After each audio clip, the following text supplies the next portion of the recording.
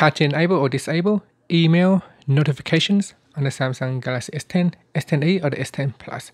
So if for some reason you are not getting notified of your new emails, it could be that notification is turned off.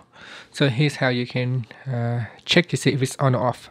First tap on the home key to go back to your home screen, then swipe up from the home screen.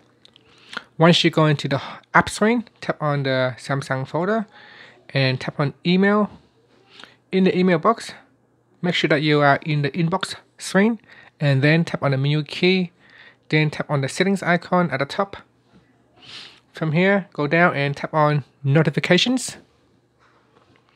In notifications, make sure that show notification switch is turned on at the top. Now this is a global switch for all the email apps. Uh, that is all the email accounts, sorry, all the email accounts that is signed into this app. So you can see if I switch it off, all the notifications turn off. On this phone here, I have two different email accounts sign in so I can individually turn off or turn on notifications to each of the account.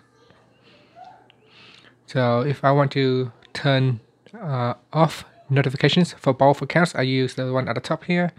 Otherwise, I can individually turn on or off, turn on or turn off notifications for each account down here. You can also uh, turn on sound as well. So e new email sound, you can turn it on or off as well. And that's it. Finally, you can tap on the home key to go back to your home screen. Thank you for watching this video. Please subscribe to my channel for more videos.